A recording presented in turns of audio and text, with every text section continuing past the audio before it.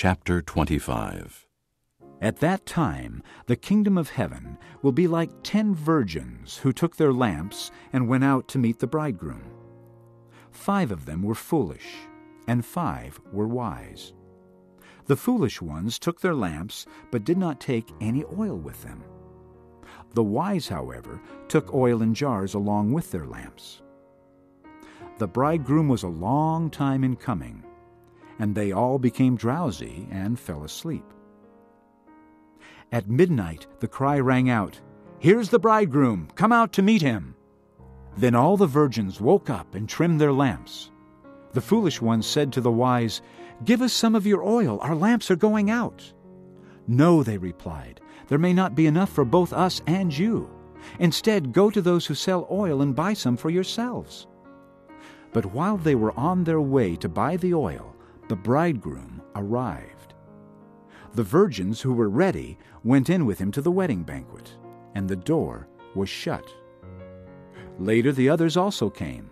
Sir, sir, they said, open the door for us. But he replied, I tell you the truth, I don't know you. Therefore, keep watch, because you do not know the day or the hour.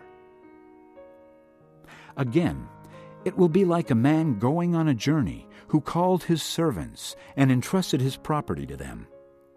To one he gave five talents of money, to another two talents, and to another one talent, each according to his ability. Then he went on his journey. The man who had received the five talents went at once and put his money to work and gained five more.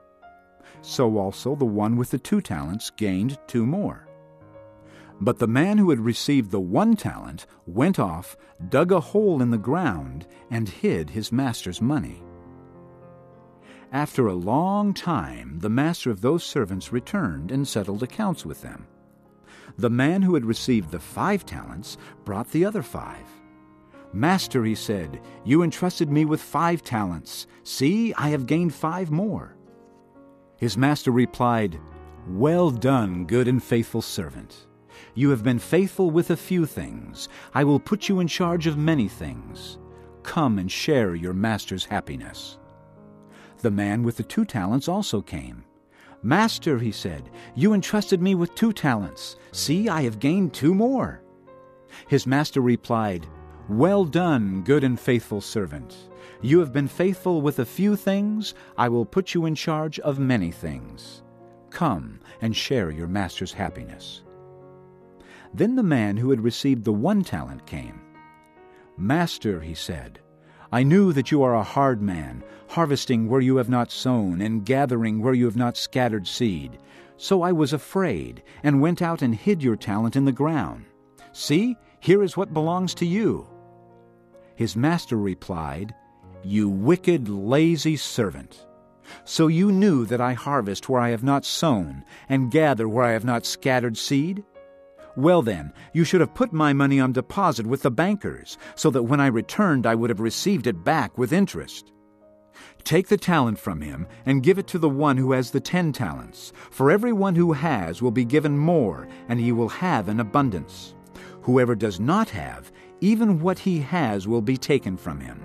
And throw that worthless servant outside into the darkness, where there will be weeping and gnashing of teeth.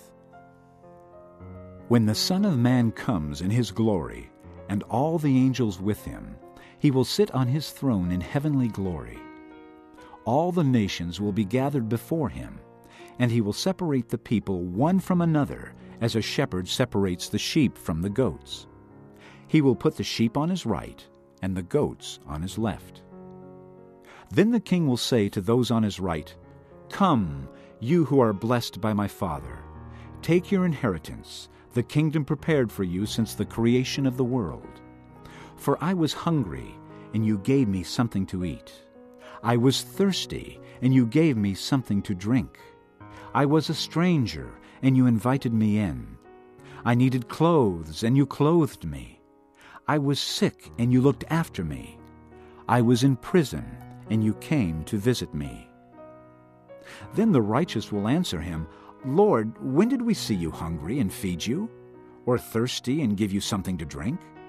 When did we see you a stranger and invite you in, or needing clothes and clothe you? When did we see you sick or in prison and go to visit you? The king will reply, I tell you the truth. Whatever you did for one of the least of these brothers of mine, you did for me.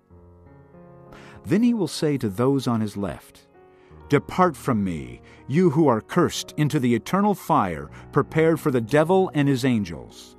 For I was hungry, and you gave me nothing to eat. I was thirsty, and you gave me nothing to drink.